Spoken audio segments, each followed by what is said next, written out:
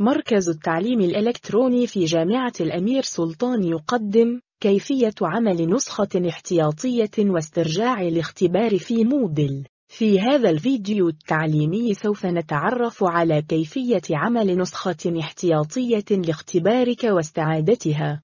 في صفحة المادة، قم بتحديد الاختبار الذي تريد إنشاء نسخة منه. في صفحة الاختبار، انقر المزيد ستظهر القائمة المنسدلة.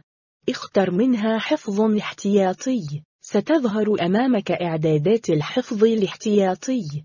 حدد العناصر التي تريد تضمينها في نسختك الاحتياطية. تأكد من تحديد مربع تضمين بنك الأسئلة. بمجرد الانتهاء من تحديد الخيارات. انقر على زر الانتقال إلى الخطوة الأخيرة. انتظر حتى يتم تحميل ملف الحفظ الاحتياطي. ثم انقر على استمر. في الصفحة التالية.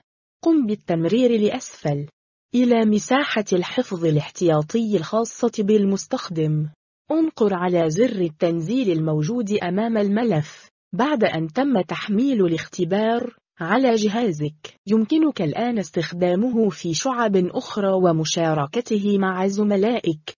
انتقل إلى صفحة المادة التي تريد استعادة الاختبار فيه ثم انقر بعد ذلك على قائمة المزيد واختر إعادة استعمال المقرر. في يمين الصفحة انقر على القائمة المنسدلة اختر استرجاع ثم انقر على اختر الملف.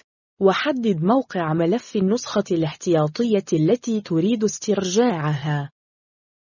ثم انقر على استرجاع. في صفحة النسخ الاحتياطي.